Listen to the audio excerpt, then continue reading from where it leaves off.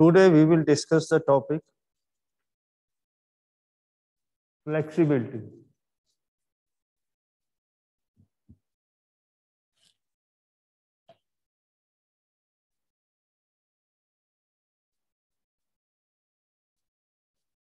Various factors determining flexibility. Before we start the different factors, we will discuss about flexibility. Flexibility is the range of movement of muscles at joints. It simple word, it is the ability of the joints to move in maximum range. Simple hai. Flexibility means it is the ability of your muscles, your joints to move in maximum range. And beta, your flexibility depends upon your structure, your ligaments.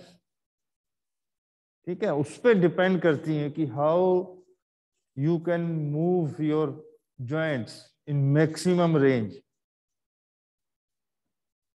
Children have a more flexibility as compared to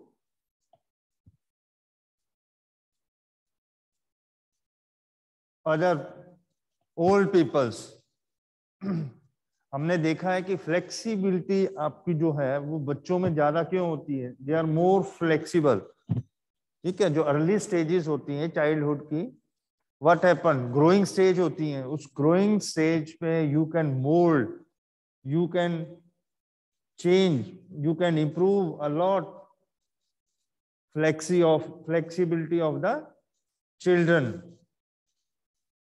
And for that, gymnastic is the best sports. You have seen in gymnastic, those who are participating in gymnastic activities,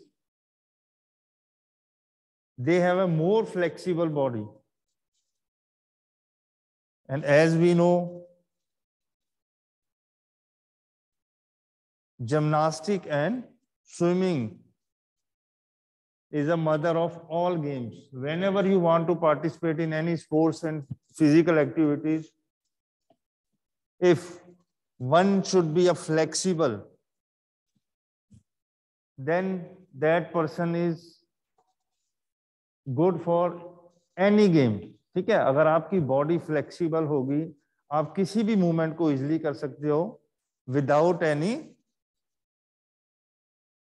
किसी भी, आप कह लो कि आपको कोई movement करनी है, कोई स्किल्स हमने करनी है एक्टिविटीज़ करनी है, अगर आपकी बॉडी फ्लेक्सिबल होगी तो what happen you can do that activity easily ठीक है? आपको उस एक्टिविटी को करने में कोई प्रॉब्लम नहीं आएगी।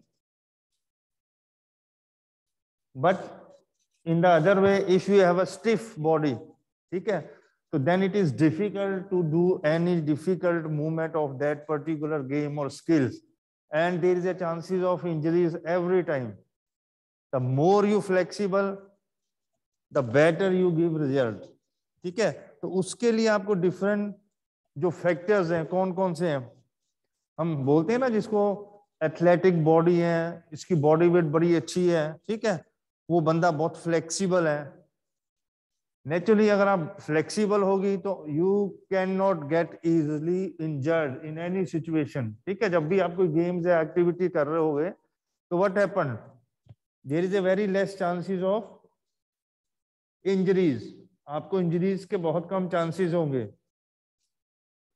But in the same case अगर आपकी बॉडी स्टिफ है तो आपको chances of injuries always there following are the different factors which determine the flexibility of a person ठीक है उसमें आपका मसल फाइबर स्ट्रेंथ जो आपके मसल्स हैं बॉडी में ठीक है मसल्स फाइबर्स स्ट्रेंथ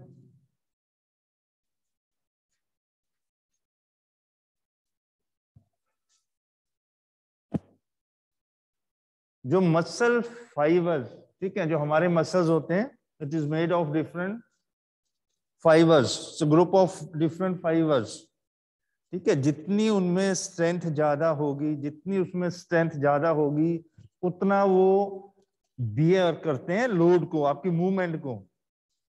ठीक है, जितनी आप ज़्यादा मूवमेंट करोगे, अगर आपके मसल में स्ट्रेंथ अच्छी होगी है तो वो आपको इजिली उस मूवमेंट में करने में हेल्पफुल होंगे।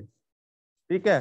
तो स्ट्रेंथ मसल्स के फाइबर्स में आपकी बहुत ज़्यादा होनी ज़रूरी है। You have seen the body of the gymnasts आपने अगर कोई भी जमनास जो वर्ल्ड क्लास है, उनकी आप बॉडी देखोगे तो यू कैन सी उनके जो आप मसल्स हैं, उनको आप you can see the muscles of each part of their body ठीक है? अगर आप उनका अपर बॉडी देखोगे, उनके बाइसेप्स ट्राइसेप्स ठीक है? आप शोल्डर में जितने मसल्स हैं, वो आपको you can see with your open eyes while they are performing their activities that is the strength of that particular sports person उनकी जो बॉडी की शेप होती है they have execute a very very difficult exercises ठीक है? In the same time they have to control their self you have seen the different equipment different उनकी जो activities चलती हैं डिफरेंट इक्विपमेंट्स है। रोमन रिंग है पैडलर बार है। ठीक है फ्लोर एक्सरसाइज होती है, पामेल हो गया है। These are the very very difficult equipments वो आप तभी कर सकते हो अगर आपके मसल्स में स्ट्रेंथ होगी। जो डिफरेंट एग्जीक्यूशन डिफिकल्टीज जितनी ज़्यादा डिफिकल्टीज वो शो करते हैं, उतने उनके पॉइंट्स होते हैं तो उसके लिए उनके मसल्स का स्ट्रेंथनिंग होना बहुत ही ज़रूरी है। Then structure of your joints जो आपका स्ट्रक्चर्स है जॉइंट्स का।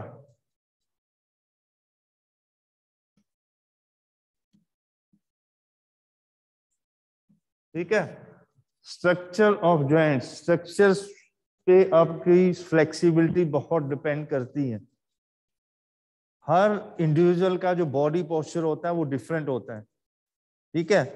आपने different people they have a different body postures then there is a different categories of personalities ectomorphy endomorphy mesomorphy तो हर इंडिविजुअल का अपना बॉडी स्ट्रक्चर डिफरेंट होता है। उस पर आपका फ्लेक्सिबिलिटी डिपेंड करती है। देन एज एंड जेंडर जो आपकी एज है age and gender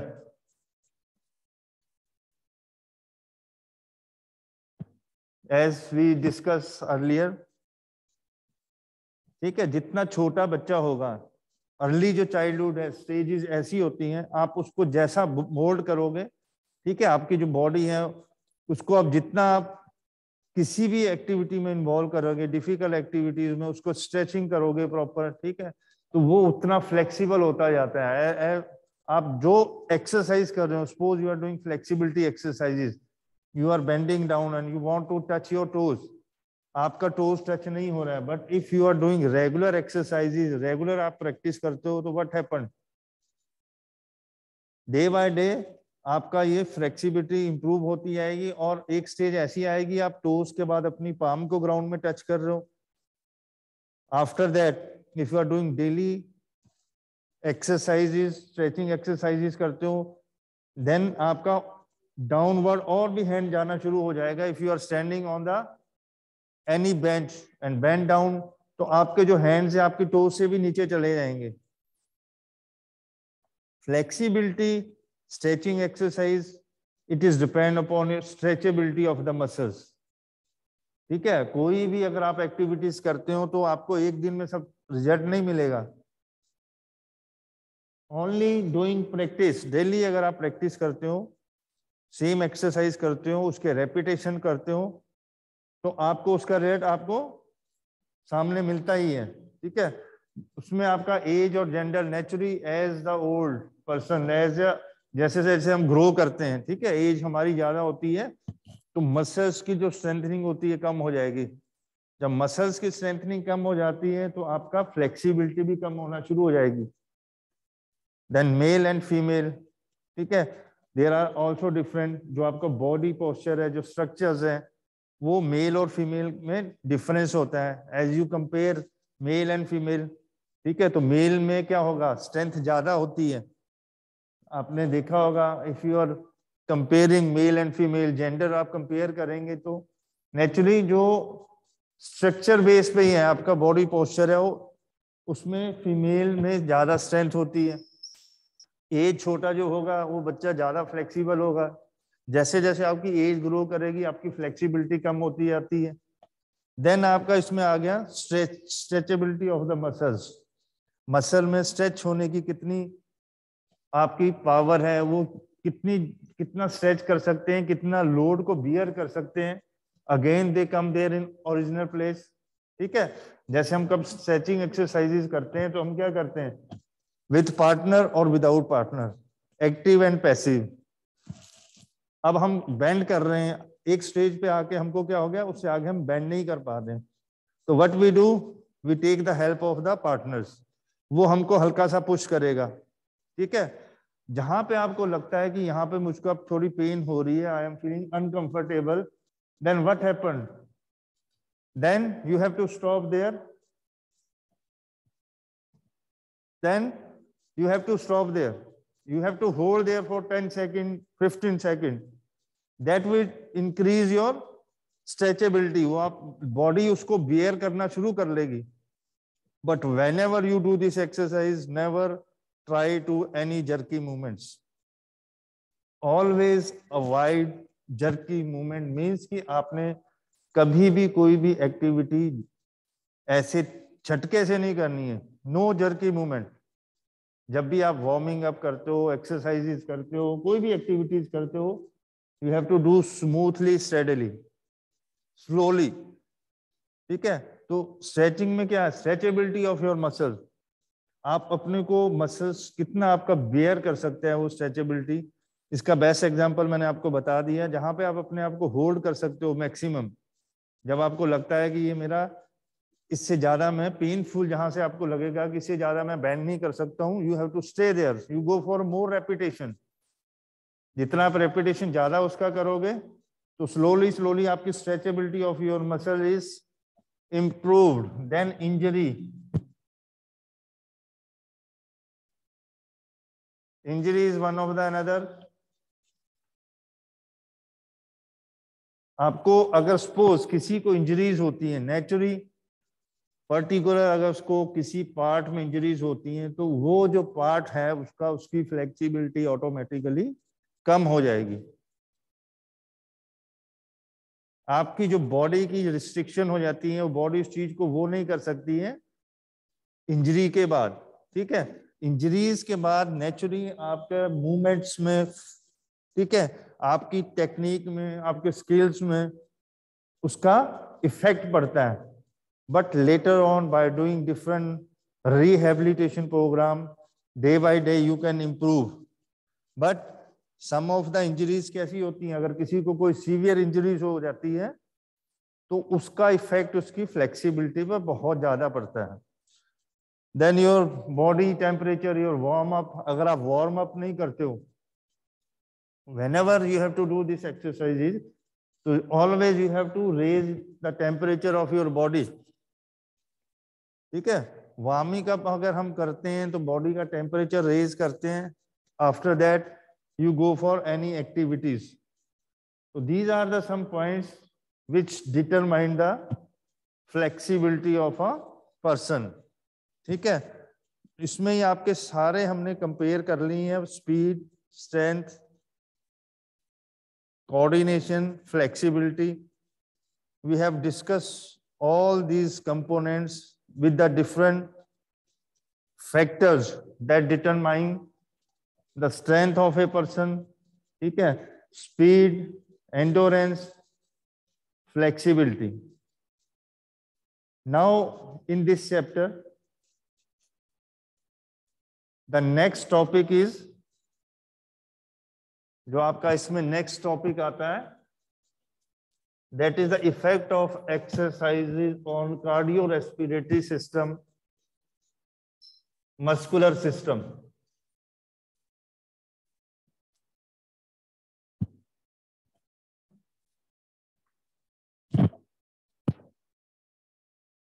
ठीक है? अब इसमें आपको जो मेन दो टॉपिक है कि what is the effect of exercise on cardio respire cardio respiratory system and muscular system cardio respiratory system it is a both cardio जिसको हम सर्कुलेटरी सिस्टम बोलते थे अर्लियर अब इसमें आपको ये कंबाइंड है cardio respiratory system main organ of car cardio respiratory system is heart as we know ठीक है? इसमें जो सारा आपका कार्डियक रेस्पिरेटरी सिस्टम, ठीक है, हार्ट लंग्स ये सारे ऑर्गन आपके इसमें इन्वॉल्व होते हैं। इसमें बेटा आपको effect this is the effect of exercises sometime you mislead the question short term है इमीडिएटली है। ठीक है लॉन्ग टर्म है। Means when we are doing at that time what effect on cardio respiratory system और what is the permanent effect of exercises on cardio respiratory system तो don't confuse whenever there is a question straight way की what is the effect of exercises on cardio respiratory system you just mention the all the points जो जो आपको points बताए जाएँगे you have to write that आपको अगर उन्होंने पूछा है कि what is the immediate effect and what is the long term effect then you have to separate this question otherwise straight way you have to write the different points so, first of all, we have to start with the heart. ठीक है? जो main आपका cardiac muscles है, वो आपका heart heart is the main organ of pumping of blood ठीक है? सारा जो आपका ब्लड होगा इम्प्योर आपका लंग से ठीक है, उसको ऑक्सीनेटेड करके डिफरेंट बॉडी पार्ट्स में लेके जाना। That is the main role of heart और लंग्स का क्या है? इम्प्योर ब्लड को प्योर करना है। और लंग्स के थ्रू ये आपके सारे बॉडी पार्ट में जाता है। थ्रू डिफरेंट आर्टरीज कैपिलरीज ठीक है?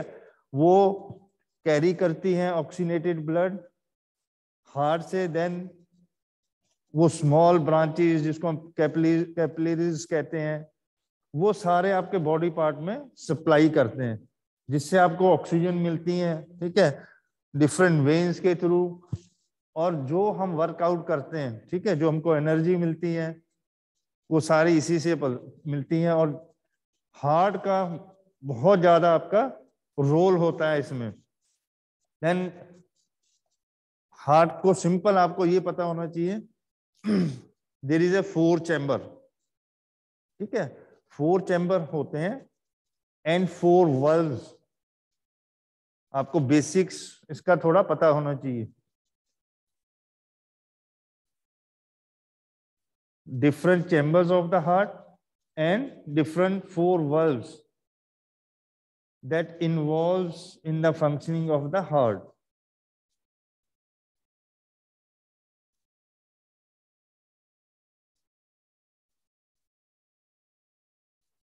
Then there is a different words used related to this blood pressures, systolic blood pressure, diastolic blood pressure. Then what is pulse rate?